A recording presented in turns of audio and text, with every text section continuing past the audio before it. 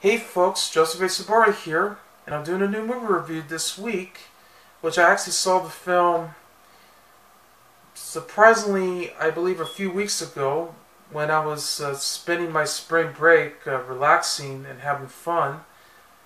I actually finally saw the movie.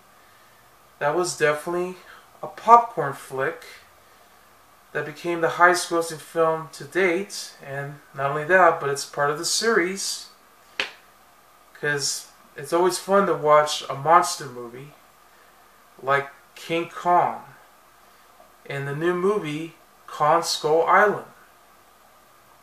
So in this one, this was more like Apocalypse Now meets uh, King Kong in a way because seeing that this movie set in the 70s and they're pretty much at war here, but they're trying to search to see what's going on over there in this mysterious uh, island as we know it. Because that's where we finally get to see the big ape of them all, Kong. Yeah. And yeah, no doubt about it, this was fun. Action pack, definitely worth your time for only two hours. Plus, you got an all star cast right there and you just want to have a good time at the movies, and it shows. And as you know, I love King Kong. I grew up watching all of their films uh, ever since. I'm not going for this whole running joke about I grew up with something, okay? No, but it's true. Because it's always fun to watch uh, monster movies, you know, like King Kong, Godzilla, and all the rest that we had. But King Kong, um, I always remember watching the 1933 original that was black and white and had a lot of great practical effects. It definitely shows that that a beast like King Kong definitely has feelings. But he also loves to smash things, loves to kill a dinosaur, and he does go after the humans. It could also be a love story as well. And yes, it could be very sad too. Especially after he climbed all the way up to the top of the Empire State Building. Yeah, I know there's like several versions that follow even the Mighty Joe Young, which is a different uh, type of movie, but it could be part of the series too. Yeah, both the original and remake. But nevertheless, it's like, man, you just can't help but love him so much. I mean, he's definitely the beast right there. Anyway, and I always love all the other series that follow after King Kong, but then there are some disappointments too. In fact, more in particularly, King Kong Lives, which is the worst one of the bunch, in my opinion. Um, I didn't mind uh, the 2005 remake uh, with Peter Jackson. I mean, I had some issues with that too. I mean, I think they would have done better with the casting choices of of Jack Black and Adrien Brody. So, but Naomi Watts was good, and I love Kyle Chandler, and I wish there were more to him in the movie, as well as all the other supporting cast that they got. But still, the 1976 remake uh, that uh, Dino De Laurentiis had worked on, but they did several changes. I mean, it it actually focuses on an oil corporation and all of this happening. Plus, he climbs on top of the World Trade Center instead of, uh, yeah, Empire State Building in New York. It was also good, but still had some problems. Uh, I still enjoy the cast that they chose and King Kong himself because this was done with uh, makeup and costume and all of that. they even got Peter Cullen to do the voice of King Kong in the 1976 version, so it was cool. But I heard that he actually strained his voice. So, yeah, that yeah, that was the one that had um, Jessica Lange, uh, Jeff Bridges, and Charles Grodin. I mean, they did several changes uh, to the story, even though it maintains the same.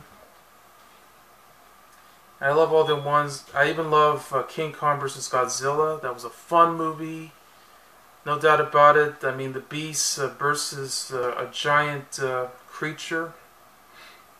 That's right. That's that's absorbed by nuclear right there. Yeah. But this one is quite different, and and I really prefer this. But it's definitely right up there with um, the original King Kong and all the other ones. And I guess I can also put this right up with uh, King Kong versus Godzilla because yeah, they were fun. So let's get to the review. It stars Tom Hiddleston, who's been best known for films like The Avengers Thor and Midnight in Paris. Samuel Jackson, always been best known for films like Pulp Fiction, as well as um, many other films that he's been doing in his career. Yeah, even Snakes on the Plane. John Goodman is who has done a lot of good work, including the the Big Lebowski and King Ralph. Uh, Brie Larson from the movie Room and Trainwreck. Ying Tyne. Uh, Ying Tyon. Toby Kebbell. John Ortiz. Corey Hawkins. Jason Mitchell, who's been best known for his role in, in Straight Outta Compton and Galaxy Quest. Shea Whigham, Thomas Mann, and John C. Reilly. There's been a lot of stuff, uh, known for films like uh, Chicago, What's Eating Gilbert Grape, even Wreck-It Ralph. It's written by Dan Gilroy, along with Max Borenstein and Derek Connolly, which is based on King Kong, the series by Merian C. Cooper and Edgar Wallace, and is directed by Jordan Bogue Roberts. The movie begins during World War II in 1944. Two fighter pilots, one American named Hank Marlowe, who's soon to be played by John C. Reilly, and the other is a Japanese soldier named Gunpei Ikari. The two had a dogfight while they parachuted onto an island in the South Pacific until they wound up going near Skull Island where Kong appears and attack one soldier, which of course happen, happens to be um. In 1973, the U.S. government agent from the Monarch Corporation, Bill Randa, who's played by John Goodman, who hires a British Special Air Service captain, James Conrad, who's played by Tom Hiddleston, who's a skilled tracker himself, they guide an expedition to map out through a satellite photo what appears to be an island known as Skull Island. So they hire a team which includes a Vietnam War helicopter squadron Sky Devils that's led by Lieutenant Colonel Preston Packard, who's played by Samuel Jackson, along with Major Jack Chapman, who's played by Toby Kebbell, and Captain Earl Cole, who's played by Shea Whigham. It also joins in with a photojournalist, Mason Weaver, who's played by Brie Larson, who's also an activist, who believes that an expedition is a military operation. So once they arrive over there at Skull Island, it was hired by Houston Brooks, who is a seismologist, who decided to map out the island to see what's going on. By the time they entered around through a ship, which also leads to helicopters, Suddenly, the air unit gets attacked by Kong, actually killing several of the military soldiers. Only leads to two groups who are crash landed between two different areas of the island. So it leads to both Packard's team and Conrad's team. Packard's team was was getting ready to search for for Chapman and the rest of the the group who are survivors or soon to be survive and try to find all the the ammunition that's been hidden somewhere in the island. Well, Conrad's team is trying to find out uh, where they are, and not only that, but they suddenly bump into several uh, several natives that are running the island, and suddenly we get to meet the the soldier who's who's now aging, yeah, Hank Marlowe. So then they begin to find out the secret behind the island that's being run by Kong himself, because this was his home. It also appears that there's been a lot of giant bugs that are, that are spreading around, which includes a giant uh, daddy longlegs spider, actually killed one of the soldiers. And they also had uh, a giant octopus, which Kong actually killed and eats. And on top of that, a giant uh, reptile known as skull hunters. So, Hank decided to have a plan to actually leave the island by actually rebuilding an old uh, World War II plane in order for them to to get out of the island. But they're still trying to find hope to actually escape before the Skull Hunters uh, go after them. And it only gets worse from there. Well, I gotta say, I mean, this was a fun, action packed monster movie that we've been waiting for for a long time. And I enjoyed it. It definitely has that feel to it. And has some likable characters that we got, which includes Tom Hiddleston playing the James Conrad, I mean, this is a nice change of pace for him to actually play a hero instead of a villain like he played in the, the movie The Avengers you know, Thor, along with its sequel, when he played Loki. So that's a change of pace right there. Uh, Samuel Jackson did a great job playing Colonel Preston Packard, even though we do get to see a deep down secret behind him at the end. Um, also, John Goodman did a great job playing Bill Randa. He, I mean, he's definitely an expert and trying to find out uh, the expedition that's happening over there at Skull Island.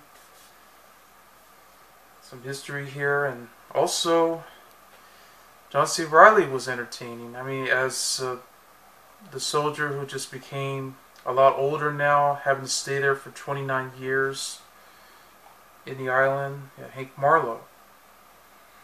And I can't say I blame him because he sure definitely knows uh, the entire island after being there. Shows so many creatures that they got over there. And on top of that, he just wants to go back home to where he came from. You know, where he just loves to hang around with his family, while sitting down, you know, having a drink, and while watching a, a Chicago Cubs baseball game from that time. Um, I mean that's what he dreamed about all this time too. So it was fun. Brie Larson did a great job playing a photographer, which apparently you know she does become feisty, and I know she she basically uh, suddenly repeats uh, Conrad's line, bickering each other at times. But the entire cast was great. Um, no doubt about it. Um, give them for what they're doing. didn't disappoint me at all because it actually shows uh, what happens uh, once you're there at the island. But nevertheless, I mean, Kong definitely gets to fight. He lives. He actually goes after the skull hunters that are actually much bigger and giant than ever before. The score was, uh, it does have a wonderful score that's done by Henry Jackman. Did a great job and they even throw in some 70s music, which really works the film very well. Because after all, this movie is set in 1973. Makes sense. Definitely had the feel of Apocalypse Now right there. I mean, e even when they rebuilt the the plane, which they turned into a boat, actually resembles to it, right there, and and so on. Um, the CGI effects was definitely impressive. I mean, they really did create Kong completely. He almost started to look a little bit like the Kong that we know from the earlier films, so they modernized it very well. And the way they created the creatures that they got in the film was just so impressive. I, this was well made, and also I thought the film was was entertaining. It was it was a popcorn flick. Uh, cinematography was done by Larry Fong, who, who actually did the cinematography for that You Know What that came out uh, last year called Batman vs. Superman Dawn of Justice, which I did not care for. But this movie, on the other hand, his cinematography was outstanding. It definitely had perfect shots of the entire film. It definitely has the 70s feel to it as we know it. It just looks amazing. The editing was done by Richard Pearson. Edited perfectly too. Um, it's, a, it's a great story to tell. I mean, that's what we want. I mean, we want to have a King Kong movie that's fun, not boring, just entertainment. Right there. I recommend the movie. You'll have a good time and it's definitely worth watching again and again.